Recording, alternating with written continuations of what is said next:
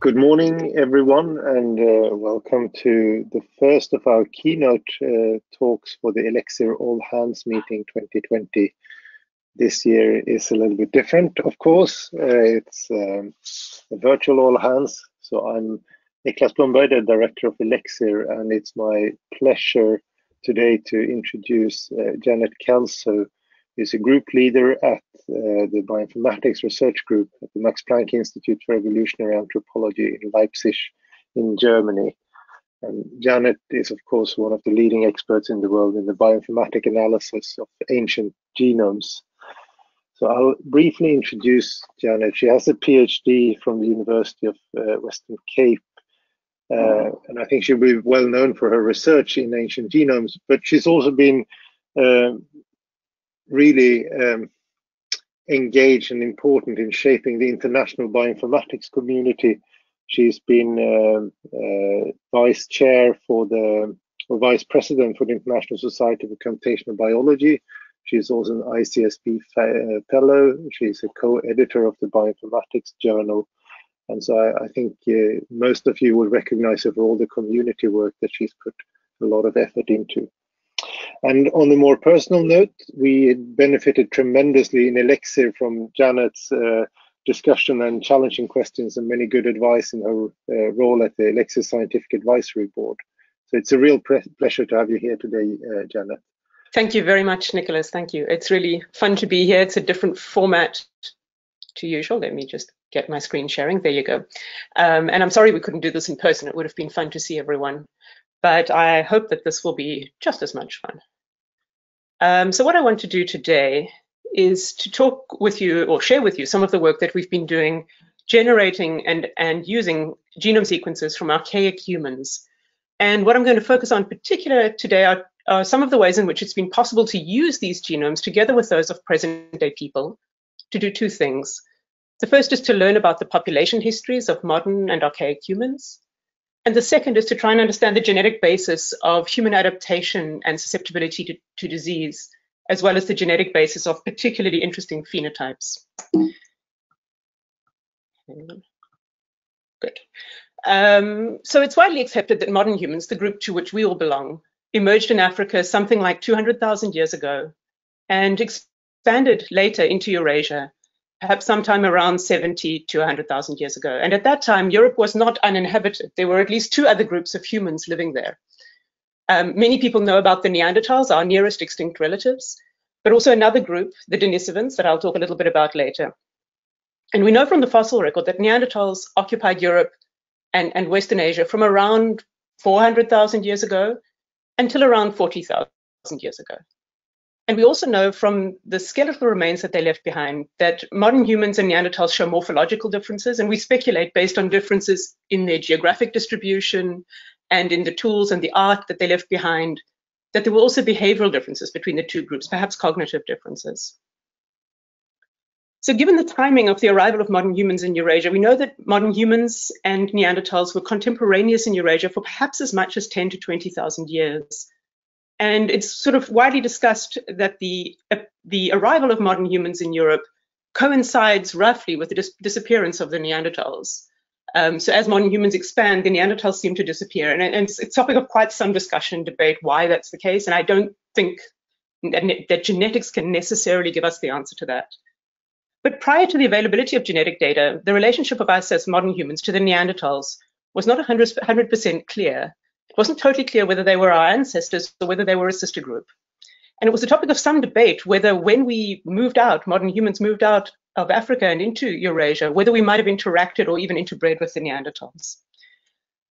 So the very first DNA that was ever sequenced from a Neanderthal was sequenced in the late 1990s by Matthias uh, Krings and Svante Pääbo. And this pro provided just a few hundred bases of the mitochondrial genome. And it showed that at least mitochondrially, the Neanderthals are a distinct group, a separate clade from modern humans. Um, and what you see here is in the genomes of a number, number of Neanderthals. The first um, mitochondrial genome sequence was that of the type specimen, the Feldhofer Neanderthal. But subsequent sequencing of a number of Neanderthals has, has shown that this picture holds. Um, so from the mitochondrial genome, it was then speculated that a complete replacement of Neanderthals by modern humans leaving Africa was the most likely scenario that, for, at least from the mitochondrial genomes, it didn't seem that there had been any mixture between, between the two groups. But mitochondrial DNA is just a single locus. It's inherited only maternally. And so it doesn't rule out that there might have been a small amount of interbreeding between the groups or some interbreeding between the groups. But in order to resolve that, what one needed were nuclear genomes from Neanderthals. And in the late 1990s, when the sequencing was done, large-scale nuclear genome sequencing of ancient specimens was simply not feasible. And that was due to two factors. The first is, was the limited throughput of sequencing technology. So I'm sure everyone here is aware of the fact that we've undergone a massive sequencing re revolution in the last 10 to 15 years. But in late 1990s, um, standard sequencing approaches simply weren't um, applicable to ancient DNA. Um, you needed to do PCR amplification. The molecules are generally very short. That's not, not easy to do. And then, secondly, and I think more importantly, a number of characteristics of, of the DNA extracted from ancient specimens made direct sequencing very difficult, uh, uh, sequencing using ABI technologies very difficult. And I just want to talk a little bit about some of those features so you get the idea of the kind of data that we're dealing with. So to start with, the data, the, the sequences that we get from um, ancient materials like bones or teeth is highly degraded. It's typically fragmented into very short pieces. You see a length distribution here. This is one of the more reasonable specimens we have, where the average length of the fragments that we get, the molecules that we get out of the bone, are 40, 50, 60 nucleotides. Um, the DNA also accumulates specific patterns of chemical damage. And the, the, pattern that's most characteristic of ancient DNA is the deamination of cytosine to, uh, to uracil. And while these, the presence of these um, uracil um, moieties is characteristic of ancient DNA and it can be very useful because it's a way to identify truly ancient molecules. It leads to massive um, challenges for, for alignment, for example, and for genotyping. And then finally, um, and perhaps most critically, most of the DNA that we get from a bone is not from the owner of that bone. It's from microbial contamination, uh, microorganisms that colonize the bone after the death of the individual. And you see here, um, this is actually a, um, a, plot of the amount of Neanderthal DNA. So there's written as primate from the original Neanderthal that was sequenced, the first Neanderthal that was sequenced. And there we have about 3% of the DNA coming from the Neanderthal, the rest being largely microbial. Um, many of the specimens we have are, are even worse than that. That's actually not too bad a case. And so it was really only in around 2005 the advent of next generation sequencing that it became possible to extract and directly sequence ancient molecules in the quantities that are needed to reconstruct nuclear genomes from ancient humans. And um, it doesn't work quite exactly like you see in the picture there. Um, the process typically starts with the removal of a small amount of powder from bone or from from a bone or from a tooth, um, sort of on the on the order of fewer than 100 milligrams of bone powder, from which DNA is extracted and then sequencing libraries are prepared. Um, and those sequencing libraries are double indexed, and then they're either re-amplified and sequenced directly, so shotgun sequenced, or they go through some kind of um, enrichment capture, which allows us to extract out sites of particular interest. And it's in this process here um, that many improvements, massive improvements in, in molecular methods over the past years have allowed us to optimize the yields of ancient DNA from ancient specimens. And you see up in the right, Matthias Meyer, whose group has worked extremely tirelessly on every step in this process um, to reduce contamination and to selectively retrieve molecules showing evidence of deamination and therefore enriching, uh, therefore allowing us to enrich for the ancient DNA that's actually in the specimens. This together, of course, with the, the, development of computational methods that allow us to make sure that all the ancient molecules that Matthias's group puts so much effort into retrieving, we're actually able to analyze or include in our analysis. And so using these approaches, we have over the last 10 or so years sequenced to high coverage the genomes of three Neanderthals. The first is a Croatian Neanderthal, the so-called Vindija Neanderthal, which was the first um, nuclear genome to be sequenced. The individual is around 40 to 45,000 years old. Um, and then two Neanderthals from, um, from the Altai region of the Russian Caucasus. Um, first, a Neanderthal from Denisova Cave, um, one of the currently the oldest Neanderthal for which we have a nuclear genome. Um, it's older than 120,000 years old. And most recently, and actually um, just about to come out, uh, in publication the genome of an individual from Chagyrskaya cave, which is just a valley across from Denisova. Um, this individual is something like lived something like 80,000 years ago, um, very near to Denisova. And these genomes are sequenced to between 30 and 50 fold coverage. And so for the non-repetitive regions of those genomes that are mappable with short reads, we have a quality that's similar to that of, of modern genomes.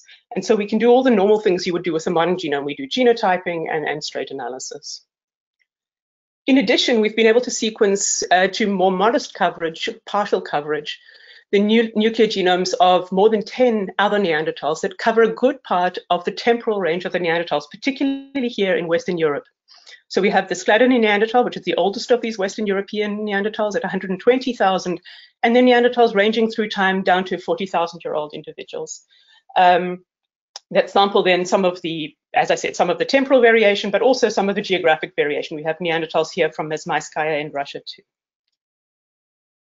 And these genomes have provided us with a number of insights into the population history of the Neanderthals. So with very high coverage genomes, we're able to see both chromosomes, and this allows us to count the number of nucleotide sites that differ between the chromosome that the individual inherited from its mother and from its father. And if you do this in present day humans, and you can see the numbers here, if you do this in present day humans, you get between seven and 10 differences per 10,000 base pairs between the, the two chromosomes, depending on the ancestry of the individual. African individuals have a higher diversity, a higher heterozygosity than non-African individuals. In the Neanderthals, what we found is that there were substantially fewer differences, only about 1.8 differences per 10,000 nucleotides in these Neanderthals. So less than, less than a fifth of the heterozygosity seen in modern humans from Africa. And this is much, much lower than seen in any modern humans today. And it's among the lowest numbers reported for any organism to date.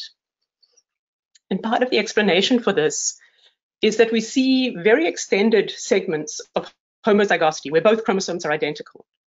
And you can see here, um, I've highlighted the Neanderthals here for you, but you can see here that the Neanderthals have an excess of um, very long tracts of, of, homozygosity, as well as intermediate tracts of homozygosity. And these very long tracts, they correspond to um, an individual whose parents were closely related to one another. Um, whereas this excess of intermediate length fragments suggests that Neanderthals lived in groups that were likely quite small over 100 or more generations um, leading to sort of long-term inbreeding among the Neanderthals. And new estimates from the Chagyrskaya paper suggest that Neanderthals lived in groups on, on the order of 50 to 100 individuals. In addition, we've been able to look at the relationship between these Neanderthals who lived at quite different times and in different geographic locations. And what we see here is that the Chagyrskaya Neanderthal, who's a Neanderthal that, if I can remind you, from the Altai region and uh, that lived about 80,000 years ago, this Chagyrskaya Neanderthal is genetically more similar to the the much younger Vindija Neanderthal, around 40, 40,000 years ago, um, than it is to the Altai Neanderthal, that's a little older, but that lives very nearby.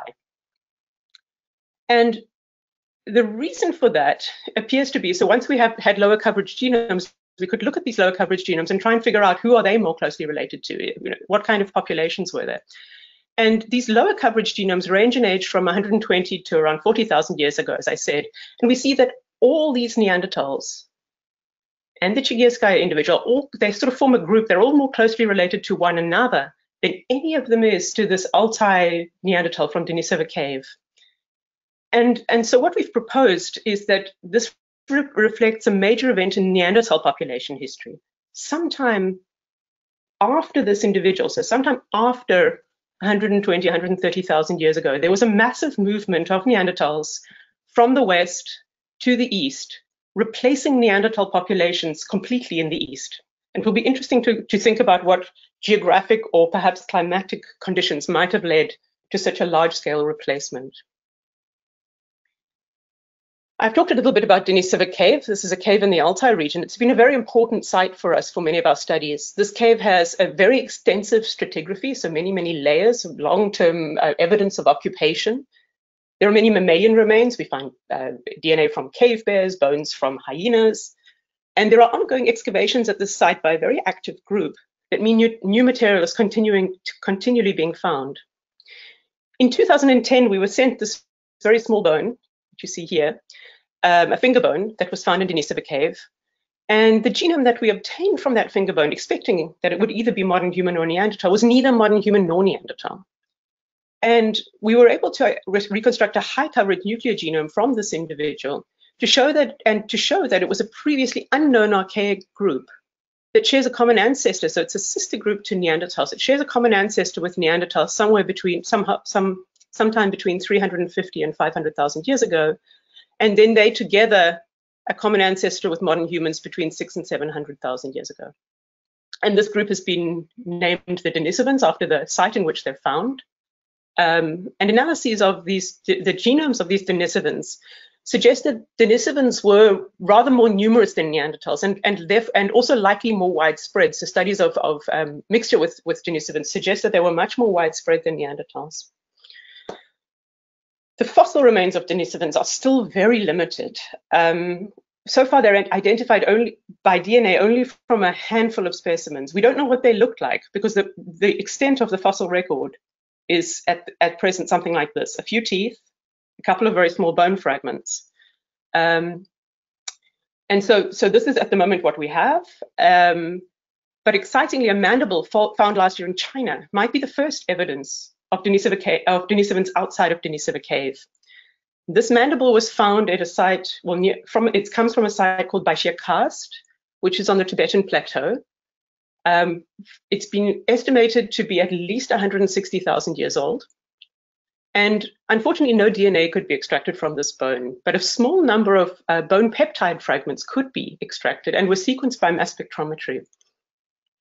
And one of these peptides carries an amino acid a change that we know from comparison of the genomes is specific to Denisovans, and it's not seen in modern humans or Neanderthals, suggesting that this bone might well come from a Denisovan, and suggesting then that Denisovans might have lived at very high altitudes on the Tibetan Plateau as long ago as 160,000 years. Um, I think in coming years, this is going to be very exciting, determining more about the Denisovans and identifying additional Denisovans outside of Denisova Cave. One strange inconsistency that we found in the sequencing of these ancient genomes is that if we look at the nuclear DNA, the nuclear genomes, um, then, as I showed you before, Denisovans and Neanderthals are sister groups, and modern humans are the out group, so to say. However, when we look at their mitochondrial genomes, um, the picture is different. Here, Neanderthals are closer to modern humans, so Neanderthals and modern humans form a sister group, and the Denisovans are outside. And this is quite puzzling. And only quite recently we have some evidence for what might be going on. And the first piece of evidence comes from a tiny bit of the nuclear genome of one of the very oldest hominin forms in Europe. These are the individuals from the Sima de los Huesos, which is a site in Atapuerca in Spain, where the skeletal remains of um, uh, 28 individuals, 28 hominin individuals have been found. And these have, these have been estimated to be over 400 100,000 years old, and they were initially thought to perhaps be Homo heidelbergensis. However, Matthias Meyer um, and his methods group in our department have been able to retrieve tiny amounts of nuclear DNA that show that the Sima individuals are in fact very early Neanderthals. So in their nuclear genomes, they look like Neanderthals, although quite early on the lineage, Neanderthal lineage. However, despite the fact that they're clearly early Neanderthals, when we looked at their mitochondrial genomes, they have mitochondrial genomes that look Denisovan-like. So this led us to speculate that what's going on is that the Denisovan and Sima mitochondrial DNA type is the original mitochondrial DNA. It represents the original mitochondrial DNA carried by archaic humans. And that the mitochondrial genomes that we see in all later Neanderthals, th those ones that look more similar to the, the mitochondrial DNAs of modern humans, are the result of gene flow from very early ancestors of modern humans that led to the replacement of the Neanderthal mitochondrial DNA in all the Neanderthals sometime after the Sima individual, so after 400,000 years ago. Of course, what would be very interesting would be to look at the other non-recombining um, locus in the genome, the other non-recombining chromosome, and that's the paternally inherited Y chromosome. We might get some hints here about what's going on if we could see the Y chromosome of archaics. However, despite all this work, this 10 years of work and the growing set of archaic genome sequences that we've been able to generate, until very recently, we had a tiny, tiny, about 160 kilobases of coding sequence from the Y chromosome of just one Neanderthal. And this is because all the specimens that are well preserved enough to be amenable to whole genome shotgun sequencing have so far been female. So the Vindija individual that I told you about, the Denisovan individual, the Denisovan um, Neanderthal, and the Denisovan, um, as well as the, the Neanderthal from the from the Russian Caucasus, from from Chagyrskaya, are all female. And so Mateja Hajdinjak, that you see in the top right-hand corner there, spent a long time systematically going through the collections and identifying potentially male specimens that could perhaps be suitable for YC, Y chromosome sequencing. And she managed to put together a set of three Neanderthals, um, a Neanderthal from Spy in Belgium, a Neanderthal from El Sidrón in Spain, and one from Mezmaiskaya in Russia, as well as two of the Denisovans, uh, noting here that these two Denisovans are quite different in age, a much older one and a younger one. And um, from these, we thought that there would be a possibility to get some sequence. But given the amount of microbial DNA possible in these specimens, shotgun sequencing was simply not feasible.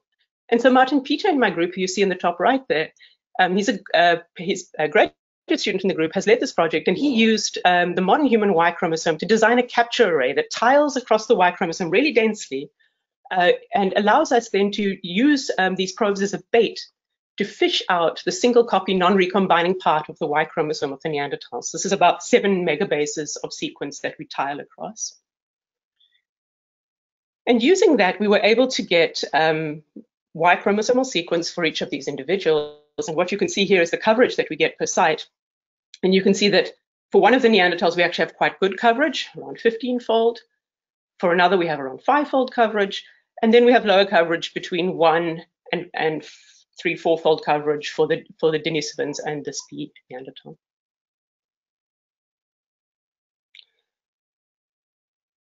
Using these sequences, we then um, reconstructed the phylogeny of the Y chromosomes, what we were interested in. And what we see is that the Denisovan Y is an outgroup to the Y of um, the Neanderthals and the modern humans. In other words, the Y chromosome phylogeny looks exactly like the unusual mitochondrial phylogeny that we saw before. And so what we're suggesting then is that gene flow from the ancestors of modern humans into Neanderthals contributes the Y chromosome that's seen in later Neanderthals. And it also contributes the mitochondrial DNA that's seen in later Neanderthals. But this gene flow doesn't affect the Denisovans. The Denisovans carry sort of the original archaic Y and mitochondrial types. Given the time constraints, this gene flow is very early.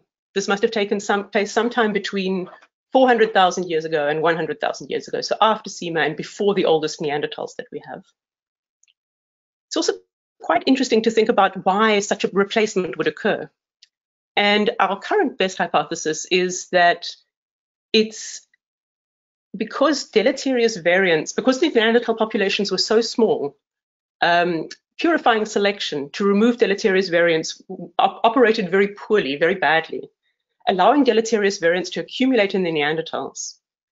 And that kind of accumulation of deleterious variants might particularly affect the non-recombining loci, such as the mitochondrial and the Y, such that when modern human more fit mitochondrial and, and Y chromosomes are introduced, they replace the original Neanderthal and uh, Neanderthal Y and mitochondrial sequences that have accumulated um, deleterious mutations.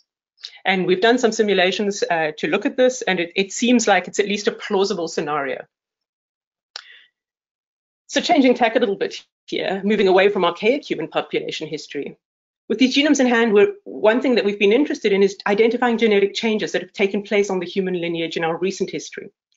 And uh, we're interested in those because they might underlie some unique and interesting human phenotypes. In the past, this has been done by comparing the genomes of, of humans living today to the genomes of our living, closest living relative, the chimpanzee. But the common ancestor with chimpanzee is somewhere between six and seven million years ago. And so there are a lot of changes on this lineage, about 18 million human-specific single nucleotide changes.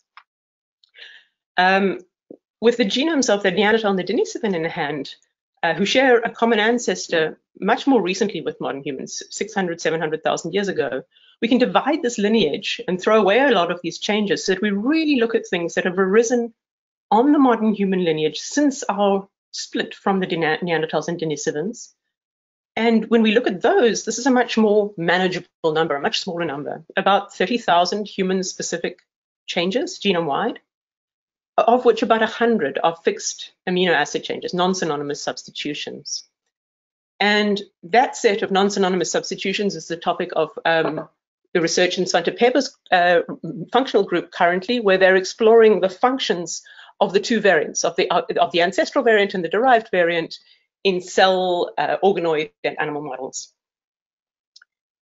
What my group has done over some years is to generate sort of a catalog of all these changes, so that we actually maintain a catalog of changes as, as we get more human, modern human variation data, as we get more Neanderthal and Denisovan variation data, we update this. And in a recent update, Christian Haider, who's a PhD student in the group, extended this to include all three high coverage Neanderthal genomes, the Denisovan, as well as the extensive human variation data that's now available. And then he put part of this resource, all the differences in and near coding sequences, into an online browser that's based on the ExAC browser framework. And this allows people who are not um, comfortable with using the, the VCF files that we produce to explore differences uh, between Neanderthals and modern humans in and near genes. And it provides also the gnomAD variation data in the back end, so you can look at human population frequencies of these ancestral and derived variants. We have this browser online. You can see the URL at the top.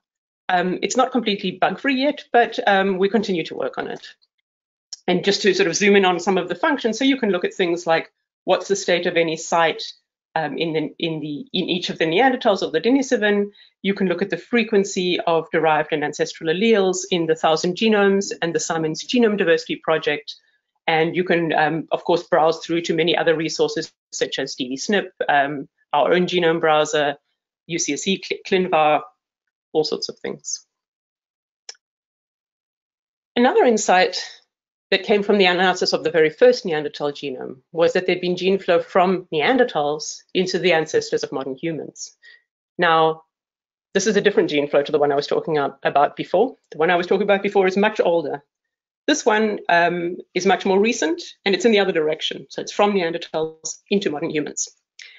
And the initial evidence for this gene flow came from a simple allele sharing test uh, developed by Nick Patterson and David Reich. And Nick hypothesized that because Neanderthals are outgrouped to all modern humans, we expect that in the absence of gene flow, all modern humans living today, no matter where they live, should be equally closely related to the Neanderthals.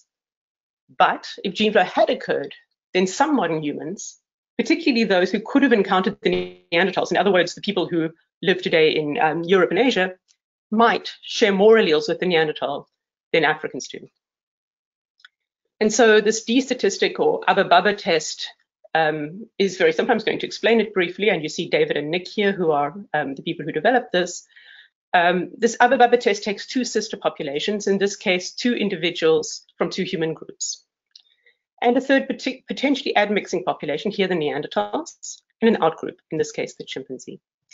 And at site with, sites where the Neanderthal differs from the chimpanzee, we simply count how often each of the modern humans shares the Neanderthal allele.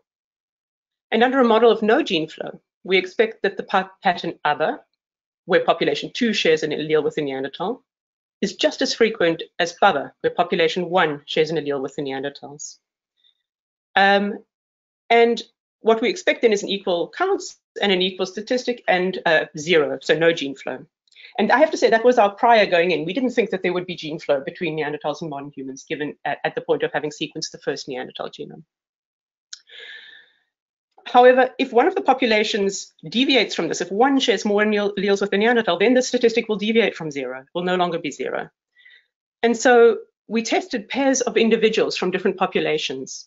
And what we found was that in all comparisons of a non-African to an African, the non-African individual had an excess of derived allele sharing with the Neanderthal. And interestingly, this was equally true for all populations outside Africa. It didn't matter if it was a European or an Asian or a Native American or a Papuan from Papua New Guinea, all, Afri all non-Africans um, shared more alleles with the Neanderthal, and no, all non-Africans additionally had approximately the same amount of Neanderthal DNA. Interestingly, there was a paper just a few weeks ago from Josh Akey's group showing that the amount of Neanderthal DNA in African genomes is in fact not zero. That statistic I just showed you uses the African uh, Africans as a sort of baseline. but that migration from Europe, Europe into Africa following gene flow means that a subset of Neanderthal introgress sequences in Europeans are also present in Africa. This means that we miss some of the Neanderthal ancestry in Europeans by using the African genomes as a null, but it doesn't invalidate the statistic. There is still more in Europeans than in Africans.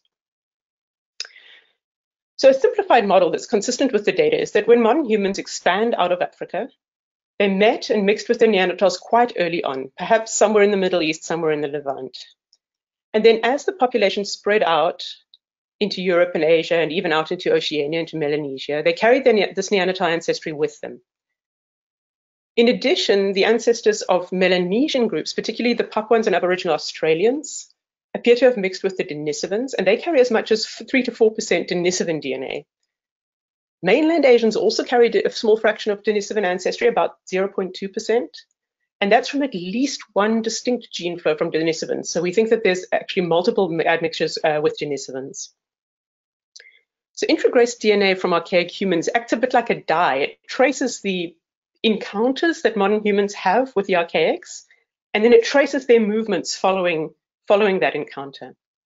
And so understanding when and where and how many times admixture between archaic and modern humans took place, as well as the sources of, of this admixture, has been a very active field of research over the last years. And it seems that there's every few weeks a new paper out it's clear that the history of admixture is, is very complex and that there was a lot of admixture between human groups.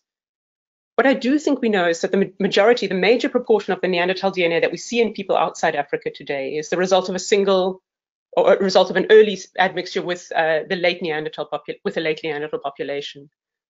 And it's likely and, and it's shown that there were additional mixtures with Neanderthals at other locations and at other times but the extent to which this contributes to what we see today seems to be re relatively small.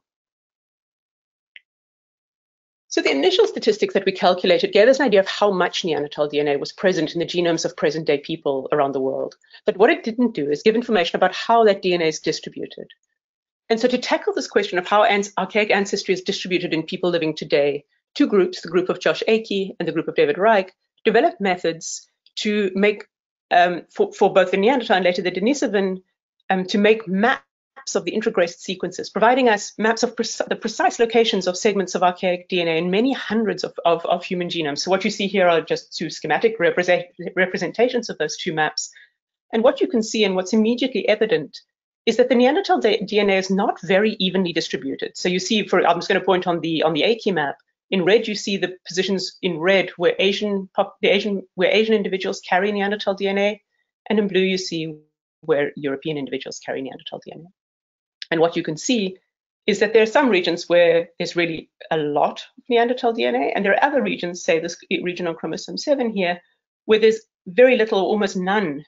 Um, and we think that that's an interesting signal. So the genomic regions where, where, Neanderthal DNA is less common seem to correspond quite closely to how functionally important those regions are. And so we see in regions of the genome that are under tighter constraint, so have, that, that have um, more evolutionary constraint, that are considered sort of more functional, um, there is less Neanderthal ancestry. So this is the Neanderthal ancestry proportion on the, on the y-axis. There's less Neanderthal ancestry than there is in regions of the genome that are under less, less evolutionary constraint, that are more able to change. And this observation has been used to propose that purifying selection has acted to remove Neanderthal DNA from around genes or around other functional elements of the genome in modern humans. This implies that a substantial fraction of Neanderthal alleles were deleterious for modern humans, and it was used to support a proposal that there was possibly some level of hybrid incompatibility between Neanderthals and modern humans when, when they interbred. However, some very elegant theoretical work from um, Ivan Juric and from Kelley Harris showed that it's not necessary to invoke incompatibilities. What they did is they modeled what we know about Neanderthal and modern human population history. So this is a, for, a model moving forward in time. So here's the shared population of humans, modern humans and Neanderthals some point, um, the Neanderthal population splits off. And um, what we know from the genomes of the Neanderthals is that they had a small effective population size over a rather long period of time before they then meet modern humans again. So this um, indicates the introgression of this arrow. And so what happens in this small Neanderthal population is that slightly, slightly deleterious mutations are allowed to accumulate because they can't be selected out effectively by purifying selection. However, when Neanderthals mix with modern humans, these deleterious mutations come into a larger human population um, where selection operates more effectively. And so in modern human populations, these Neanderthal alleles are removed. And that what they also showed quite nicely, just based on theory, is that most of the removal of Neanderthal alleles takes place quite quickly in the first 10 to 20 generations. And after 20 generations, all individuals have around the same amount of Neanderthal ancestry. And the selection against the deleterious component, the Neanderthal deleterious alleles, becomes much less effective. It was sort of assumed that the selection against Neanderthal DNA in these functional regions corresponds primarily to the removal of Neanderthal DNA encoding sequences. However, Martin Petr in my group, together with uh, Ben Vernot, looked more closely at this, um, quantifying the amount of Neanderthal ancestry in different functional categories, um, different annotations, uh, bins of the genome, so to say. Um, and what he found was, if we in this plot, what we're looking at is Neanderthal ancestry proportion on the y-axis, and this black dotted line is the genome-wide average. So 2% is what we expect the average Neanderthal ancestry in a, in a region to be. And what you can see quite clearly is that protein coding genes are exactly on the genome-wide average. They don't appear to be depleted of Neanderthal ancestry at all. If we look at the most conserved protein coding sequences, then we do see a depletion. But as a, as a class, the entire group of protein coding genes, they don't seem to be depleted of Neanderthal ancestry. The class that is depleted of Neanderthal ancestry is um, pr promoters. So promoter regions show much less Neanderthal ancestry than um, we would expect given the genome-wide average. And this indicates that the effect of selection against Neanderthal DNA is, has been strongest in regulatory, regulatory regions. And it suggests that Neanderthals might have differed more from humans in their regulatory sequences than in their protein coding sequences. So despite this observation that there's been quite extensive selection against Neanderthal DNA, it clearly wasn't all bad.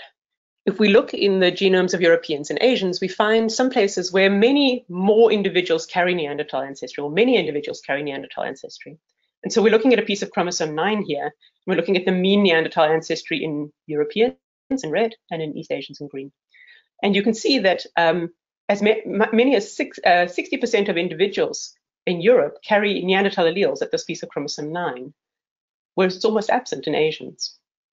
And um, similarly here, we see um, a high proportion of, of, East Asians carrying Neanderthal alleles in this region. Um, and there's some, some sort of small peak here in Europeans, but it's not as marked. At least some of these regions then are consistent with positive selection, so selection for Neanderthal DNA in modern humans. And so we started a project some years ago to identify archaic alleles that might have been advantageous for modern humans and to try and unravel mechanisms by which they might be acting. And here, Michael Dannemann, um, who was a postdoc in my group, scanned the genomes of around 1,500 present-day people to identify introgressed alleles. Um, and then he determined the length of the haplotypes on which these candidate Neanderthal alleles sit um, and he looked in these two maps that I talked about earlier, the Vernot map and the Reich Sankararaman map, um, to see that they fall in regions that have been um, previously predicted to have been introgressed from Neanderthals. And one of the regions that he, he pulled out was um, among the regions with the highest Neanderthal ancestry genome-wide. And it's 143 kilobases long. It's a block on chromosome 4.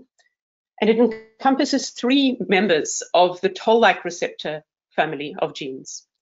And we found this, this lock is particularly interesting because of its extended length and also because of the critical role that toll-like receptors play in innate immunity. The toll-like receptors are key, key proteins of the innate immune system, and, and the innate immune system is sort of the initial response to uh, pathogenic invasion. These, these three toll-like receptors are cell surface receptors. There are other members of the family that are intracellular, and they act as a surveillance system for the cell. They recognize microbial surface proteins and lipopolysaccharides.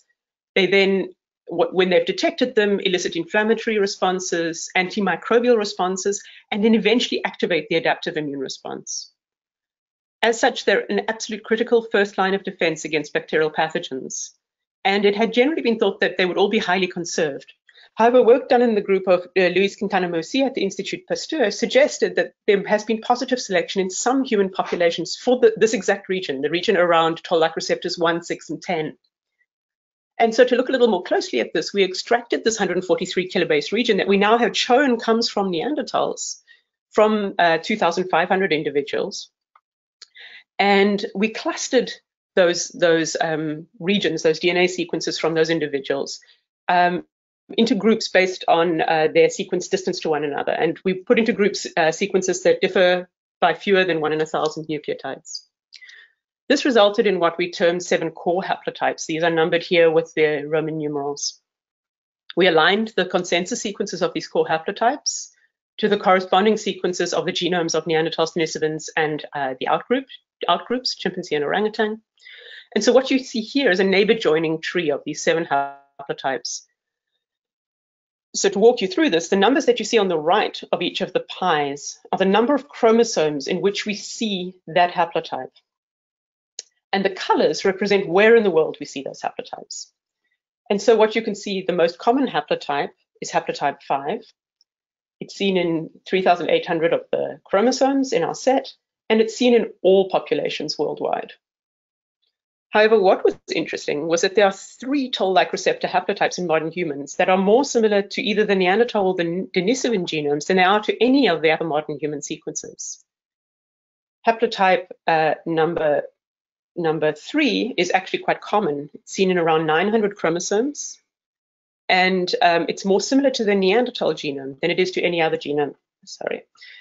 Um, there's a second Neanderthal-like haplotype, which is very similar to the Neanderthal reference sequence, um, which is seen in 61 chromosomes. And there's a rather rare haplotype seen in two South Asian individuals, so two chromosomes from two different individuals, which is similar to the Denisovan sequence. If we look at this sort of on the map, where we just look at uh, non-archaic haplotypes in blue and the two different Neanderthal-like haplotypes in yellow and in green, what we see is that the yellow haplotypes are spread across the entire world, so from from uh, from the, the, Americas through Europe and Asia, but not in Africa. Whereas the second Neanderthal haplotype in green is only seen in Asians. And this is consistent with conclusions from a, a few papers that suggested that there was a distinct pulse of Neanderthal admixture into the ancestors of present-day Asians. We would propose perhaps introducing the second toll-like receptor um, haplotype. There are also um, population allele frequency differences within modern humans for these toll-like receptor haplotypes, suggesting that there might have been population-specific selection on these toll-like receptor haplotypes in different human groups, possibly at different times. So to try and understand whether these introgressed haplotypes might have a functional effect, we looked at the sequences of the associated archaic-like haplotypes and the, so we had these 61 archaic-like SNPs, and what we asked was, do any of these SNPs change the protein coding sequence of any of the toll-like receptor proteins? And the answer was no. So we have no protein coding differences introduced by these Neanderthal haplotypes. However, what we did see was that there were a number of uh, archaic variants, an enrichment of archaic variants within known transcription factor binding motifs, suggesting that if there's an effect, it might be regulatory. And we were fortunate enough to have expression data um, RNA sequence, sequencing data from lymphoblastoid cell lines from the same individuals which we'd used um, to, to um, analyze the, the genomes here. And so we asked whether the individuals that carry the Neanderthal-like alleles, Neanderthal toll-like receptor haplotypes, differ in their expression of the toll-like receptor genes from individuals that carry modern human haplotypes. And fascinatingly, in lymphoblastoid cell lines, and I'm showing here each the expression of each of the genes, um, we see that all, the, all three of the toll-like receptor genes show significantly higher expression in individuals that carry archaic-like alleles um, than those that, that do not. So what you see here on the, on the left-hand side of each plot is individuals that carry two copies of the archaic allele, so homozygous for the Neanderthal allele, in the middle heterozygotes, and on the right individuals that carry just modern human toll-like receptors. And you can see it's um, a, a, gradation with the individuals that carry the two copies of the Neanderthal-like toll-like receptors having the highest expression. Heterozygotes are intermediate and homozygotes for the modern human allele um, are the lowest. Of course, these SNPs all share on a shared, uh, sit on a shared haplotype. So these expression differences in each of the genes are not independent observations. We then looked at a broader set of tissues from the GTEx project to see whether this is a tissue-specific effect. And indeed it was, sorry, indeed it was. It's only seen in lympho, lymphoblastoid cell lines and lymphocytes. It's not seen in any of the other tissues in GTEx.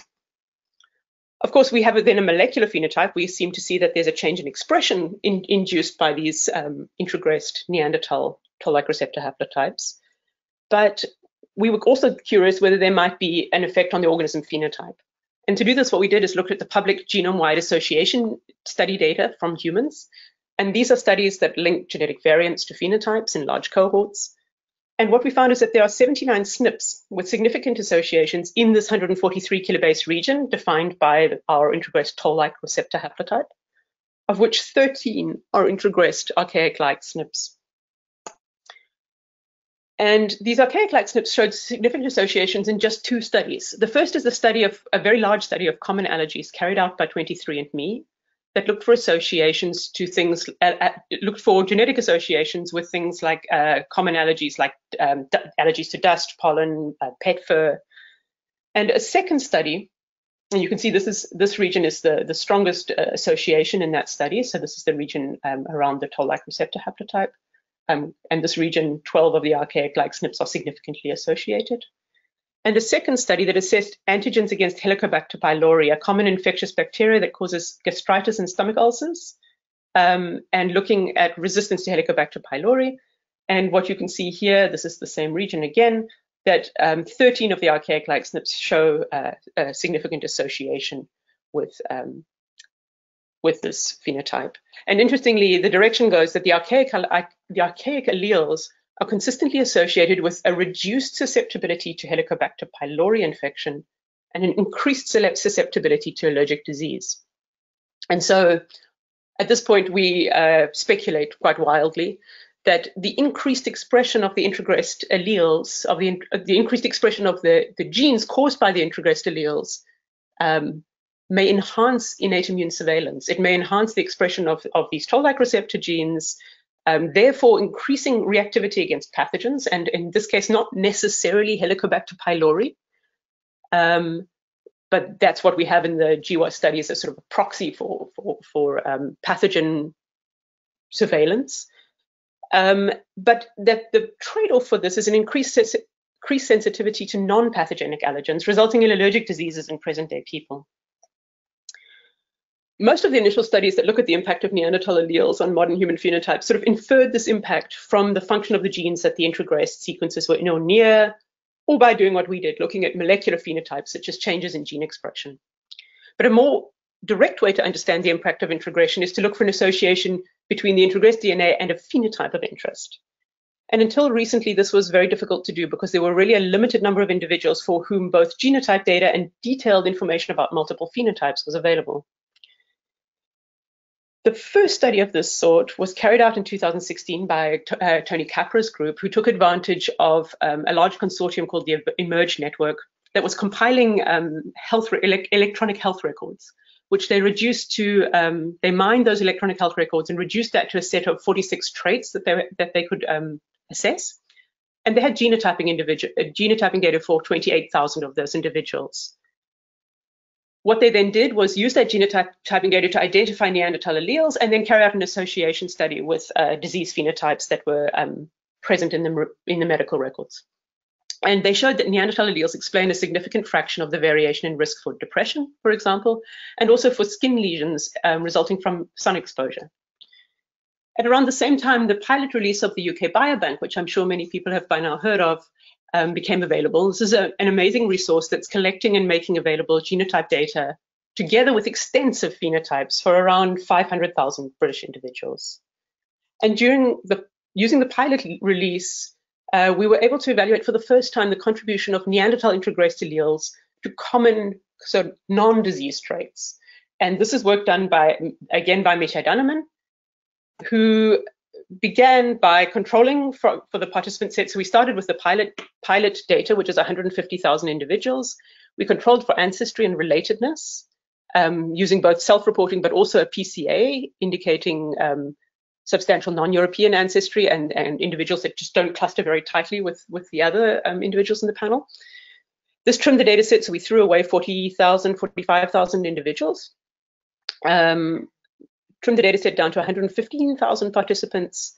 And then from the 800,000 SNPs that were genotyped using the Affymetrix axiom array, we um, identified first the introgressed Neanderthal variants present in each individual. So we scanned through the set of um, genotyped sites, identifying sites where the individual, where each individual carried Neanderthal introgressed alleles.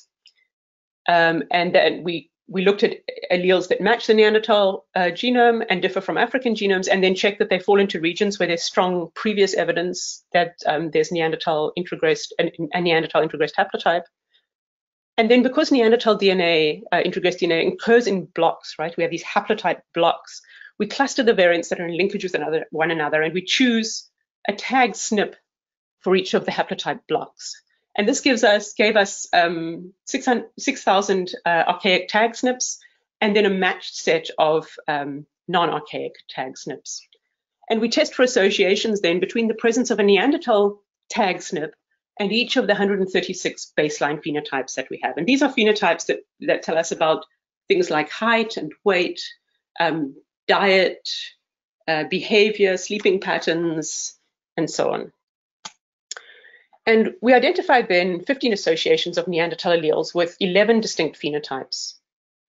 These include um, uh, phenotypes like sleep behavior, blood pressure, muscle and uh, body fat proportions, and body size traits. However, more than half of the associations that we find involve the integumentary system, so aspects of skin and hair traits. And particularly pigmentation seem to come out of this um, analysis. And we know that changes in pigmentation of the skin and hair is one of the most obvious perceptible differences between human groups. Pigmentation traits likely resolve, uh, evolve quite quickly in response to differences in sunlight at different latitudes. Darker pigmentations are protective against UV damage, while lighter pigmentation facilitates vitamin D synthesis at higher latitudes. Um, pigmentation is also likely a very strong target of sexual selection. And interestingly, we know very little about the skin and hair pigmentation of Neanderthals. Among the strongest associations that we found for Neanderthals in the UK Biobank are two distinct regions. So we have two Neanderthal haplotypes near a gene called basonuclin 2, BNC2. And Neanderthal variants in BNC2 are among the highest frequency Neanderthal variants in modern Europeans, although they're com almost completely absent in Asian populations. And so there's very good evidence for recent positive selection on these variants in Europeans. BNC2 as a gene has been associated with pigmentation traits like freckling, but in previous studies, the precise impact of the Neanderthal variants couldn't be determined. Um, it didn't it didn't seem that the Neanderthal haplotype acted as an EQTL in any gene expression studies. But using the biobank, we can now show directly that individuals that carry Neanderthal alleles in this region show increases incidences of sunburning, sunburn, poor tanning, um, and also an increased risk for the same keratotic skin lesions caused by sun exposure as seen in the previous Simonti et al. study from Tony Capra's group. This is then typical, um, this is then, these traits are then typical of people with fairer skin, suggesting that this Neanderthal um, haplotype might have a role in, in fair skin. Fascinating, there's a second association in this in the region near BNC, not two, not in the region near BNC2. It's a separate introgressed haplotype. It's also at quite appreciable frequency in Europeans, almost 20%.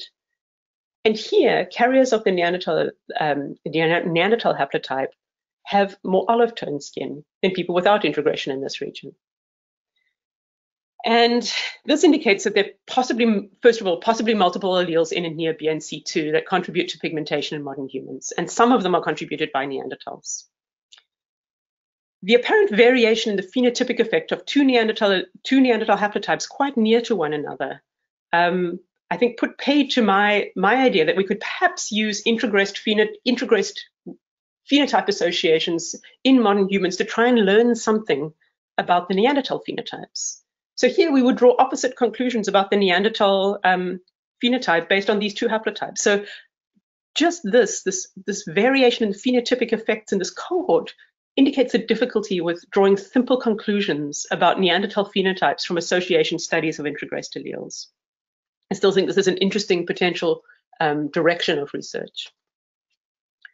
And so as I bring this to a close, I've shown you some examples of how Neanderthal introgressed DNA influ influences traits in present-day people.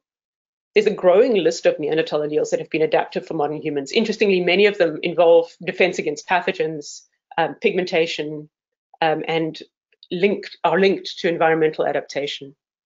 And it's perhaps not surprising that some archaic alleles then might have been adaptive for modern humans arriving in Eurasia. Um, introgression could have provided the opportunity for modern humans moving into these new environments to acquire alleles from the archaic humans who'd lived there for an extended period of time, many hundreds of thousands of years, and who were presumably quite well adapted to the local environments, foods, climates, pathogens. Um, any other form of adaptation is slow um, adaptation typically proceeds with either new mutations, where fa a, a, favorable allele has to arise and it can then easily be lost, or it happens on standing variation in the population, which requires that such variation exists. And the modern human population coming into Eurasia sort of 70,000 years ago had already been through a bottleneck that reduced variation. By contrast, favorable alleles that have emerged in the Neanderthals can spread rapidly by could could spread potentially rapidly by gene flow into modern humans. And so perhaps modern humans obtained for free, uh, sort of at, at, a low cost, at a frequency of a few percent, these advantageous alleles, thus ensuring that they, they, they wouldn't be lost immediately and could be acted on by positive selection. So I hope I've convinced you that sequencing archaic genomes is not just a curiosity, that it provides us with a rich resource to begin understanding not only the archaic humans themselves, but also modern human population history and adaptation. The patterns of Neanderthal ancestry tell us about how admixture happened and how it shaped human diversity. Um, Neanderthal DNA that's been under selection points us at traits and selective processes that have been important in recent modern human evolution. And then linking archaic introgressed DNA to phenotypic traits allows us to begin to unravel the genetic architecture of these traits and maybe tells us something about differences between Neanderthals and modern humans. For this, um, these many new biobanks that are emerging are an incredibly important resource. Um, and even uh, something I really want to underline is the importance of uh, detailed and extensive phenotyping information being included in these resources. So I'm going to end by just thanking very many wonderful colleagues and collaborators. This is, of course, work done by many people. I tried to acknowledge each of them as we went along. Um, the work has all been done under the guidance of Svante Pääbo in the Department of um, evolutionary genetics at the Max Planck Institute for Evolutionary Anthropology, um, and the ancient genomes and bioinformatics group at the uh, MPI EVA are my favorite people to work with. And thank you for your time.